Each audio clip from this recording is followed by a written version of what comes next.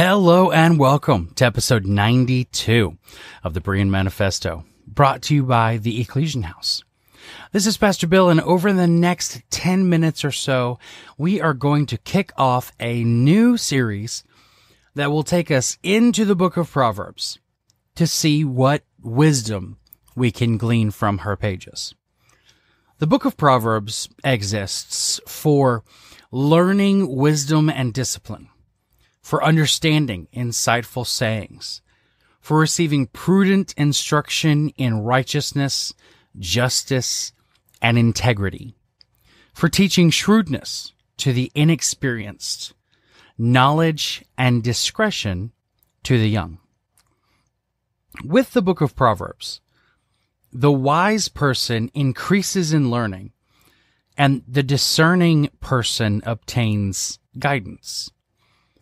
Wisdom is crucial to building successful careers, relationships, and families. There is literally nothing in this world where choosing wisdom will lead you wrong. I've heard making wise choices compared to saving and spending. The choices we make today can affect us for years. With spending, if you pay $8 for a meal at McDonald's or whatever fast food restaurant you prefer, that doesn't affect your future too much. But if you make a habit out of it and did that same thing every day of the week and maybe twice on the weekends, then by the end of the week, you would have spent upwards of $72 or possibly even more. By the end of the year, you're looking at having spent $3,744 on fast food. That's money you could have and should have saved for things like car repair, taking a vacation, or you could have given it to charity. After five years of saving that money instead of spending, you'd have $18,720. With that, you could buy a car with cash, no loan, no payments, and fewer repairs to pay for. Or that could be one heck of a vacation. Now, I understand that you're still going to have to spend some money on food, so you, you wouldn't actually save the whole eight dollars per meal. You'd, you'd probably end up saving more like five dollars per meal to be, you know, um, an estimate. Making wise choices is exactly like that, though. A little trickle here and there turns into significant power over time. Proverbs chapter 1, verses 20 through 22 says, Wisdom calls out in the street. She makes her voice heard in the public squares. She cries out above the commotion. She speaks at the entrance of the city gates. How long, inexperienced ones, will you love ignorance? How long will you mockers enjoy mocking, and you fools hate knowledge. When you look for wisdom, you will see her calling out in the streets. From an early age, we feed our children edutainment programming. It teaches them everything from science, math, and language to sharing, family relationships, and society.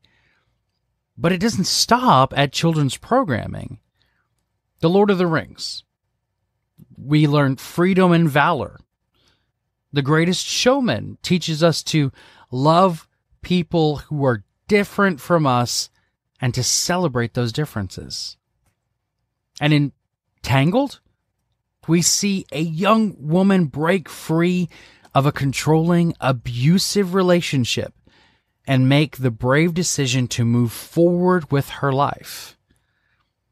You'd really have to bury your head in the sand to truly avoid all the voices today trying to teach you lessons of wisdom. Almost half of the first chapter of Proverbs is devoted to a warning not to fall in with evil people. It feels almost odd to read. Starting in verse 10, it says, My son, if sinners entice you, don't be persuaded. If they say, Come with us, let's set an ambush and kill someone. Let's attack some innocent person just for fun. Let's swallow them alive like Sheol, whole, like those who go down to the pit. We'll find all kinds of valuable property and fill our houses with plunder. Throw your lot with us, and we'll all share the loot. My son, don't travel that road with them, or set foot on their path, because their feet run toward evil, and they hurry to shed blood. It is useless to spread a net where any bird can see it but they set an ambush to kill themselves. They attack their own lives. Such are the paths of all who make profit dishonestly. It takes the lives of those who receive it. I mean, who, in all seriousness, says something like that to someone else? Let's set an ambush and kill someone believe it or not, people do get to that place. Like the example of saving or spending earlier. It happens little by little over time. You get there by mishandling money, relationships, or learning opportunities.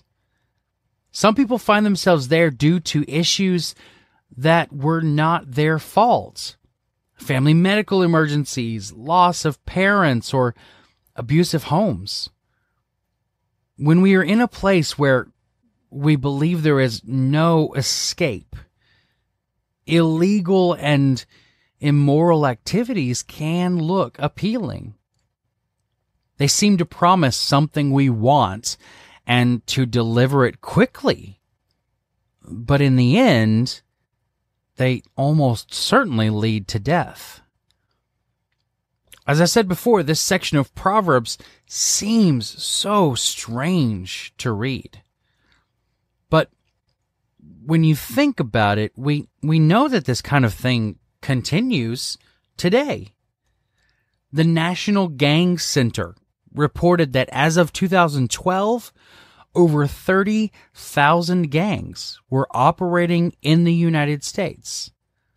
Now, I'll put the link to where you can see those uh, survey results for yourself in the blog text for this episode.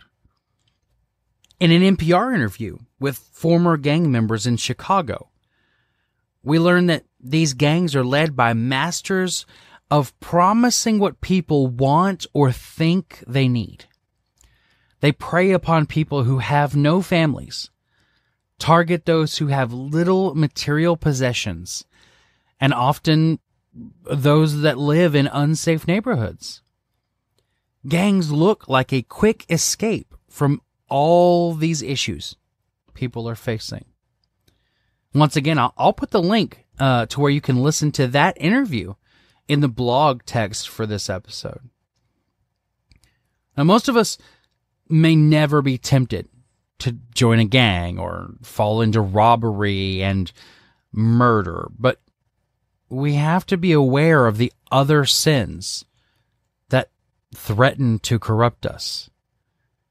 Remember, it's those small decisions that grow upon themselves into bigger things. Smaller ethical lapses may not seem detrimental. But over time, they lead to desensitization to moral actions and to larger immoral deeds that you justify to yourself.